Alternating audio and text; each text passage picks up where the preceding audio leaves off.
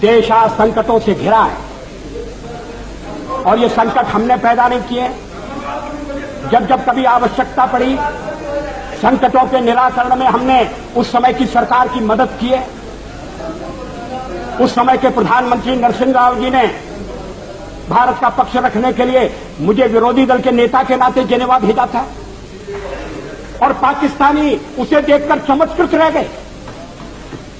उन्होंने कहा कि ये, ये, कहाँ से आए क्योंकि उनके यहाँ विरोधी दल का नेता ऐसे राष्ट्रीय कार्य में भी सहयोग देने के लिए तैयार नहीं होता वो हर जगह अपने सरकार को गिराने के काम में लगा रहता है। ये हमारी परंपरा नहीं है ये हमारी प्रकृति नहीं है। और मैं चाहता हूँ ये परंपरा बनी रहे ये प्रकृति बनी रहे। सत्ता का खेल तो चलेगा सरकारें आएँगी जाएँगी पार्टियाँ बनेगी बिगड़ेंगी।